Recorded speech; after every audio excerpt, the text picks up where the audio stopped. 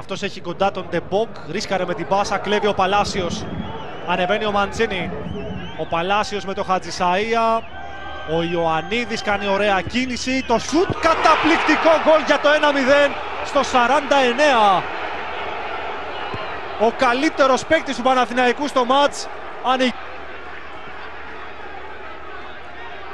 Με το γκολ του Ιωαννίδη. Είναι σοβαρό το πρόβλημα για τον ε, Κροάτη γιατί όταν ακούς γόνατο ε, το νου σου πάντοτε πηγαίνει στο χειρότερο και όλοι ελπίζουν στον Παναθηναϊκό να μην είναι κάτι το σοβαρό. Έφερε την μπάλα μπροστά ο Ιωαννίδης. Ήταν έτοιμος να εκτελέσει. Ο Ευαγγέλιο είναι δίπλα. Λέει παίζεται. Προφνίκη στο περιστέρι. Εκτελεί ο Ιωαννίδης 0-2.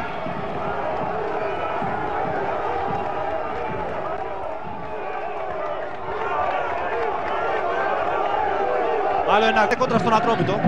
Σύνολο μετά το 2-0. Παίκτες του Ατρομήτου διαφωνούν με την απόφαση του Ευαγγέλου.